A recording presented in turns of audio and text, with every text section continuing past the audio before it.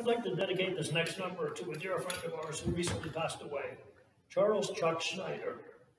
It's the uh, first movement of Bernstein's Clarinet Sonata. And uh, Ch- Chuck himself was a real had a real love affair with Bernstein and his music. For example, he conducted Chuck did the West Side Story on several national tours. He was a former conductor of the Schenectady Symphony for over 35 years. Ironically enough, his last concert with the symphony would be, as you might have guessed, conducting the music of Bernstein. Chuck was also the original conductor of the Glimmerglass Opera, and both Corine and I had the pleasure of performing as soloists with Chuck several times. Now, about the clarinet sonata, Lenny really loved the clarinet. He wrote four studies for two clarinets, two bassoons, and piano for a League of Composers concert. I'm still trying to find a copy of that, by the way. I was lucky enough to perform his Bernstein's Prelude, Fugue, and Riffs for clarinet and jazz band with the symphony several years ago. And Lenny would dedicate this to Benny Goodman. When Leonard was 21, he spent his last $4, legend has it, on a clarinet he purchased in a pawn shop. In the spring of 41, the sonata was written on one of his trips to Key West. It was first performed by David Glazer, who's a wonderful clarinetist with the New York Woodwind Quintet, in the year 42. The style may remind you of Hindemith, although there's definitely jazz, as both would be to tangle with. It features many time signatures, uh, some honky tonk, and yet it's got the classical form. So please enjoy this crossover piece.